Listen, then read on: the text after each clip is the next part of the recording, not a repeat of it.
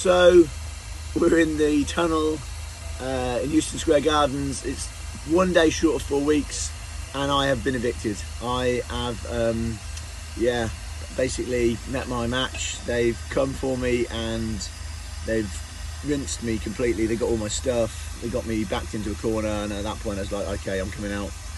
Um, so I'm just had a cup of tea, sorting my stuff out, and got a deal that I can get some messages out to people. So I'll be coming out presumably in the next hour or so. So hopefully we can get a chance to get the media there. Um, yeah. So my understanding from the lawyers is that they don't have a possession order.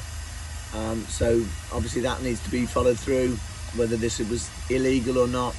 But it's a fait accompli now. They've done it. Uh, they got me. So um, yeah, time to regroup and see what's next and see how I can support those that are still down here and support the other camps. We talked about that in a video yesterday. So hopefully, um, yeah, let's get more people involved. Let's turn this climate and ecological emergency around and stop and support the climate and ecological emergency bill and stop HS2.